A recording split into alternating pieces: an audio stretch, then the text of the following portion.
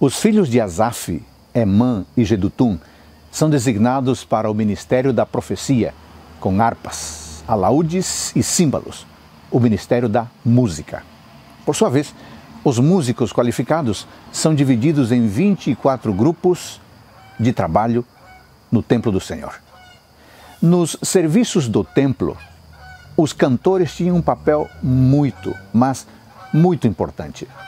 Eles deveriam profetizar, eles deveriam expressar ações de graças e louvores ao Deus Todo-Poderoso.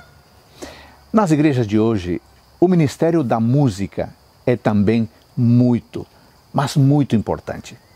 Os cantores e cantoras devem portar-se como autênticos mensageiros de Deus, buscando sempre louvar e exaltar a Deus.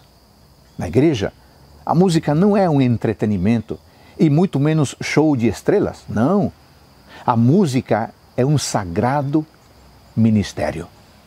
Por isso, amigo e amiga, ore e colabore para que a música e os músicos de sua igreja cumpra, cumpram cabalmente o seu papel de ministros do louvor.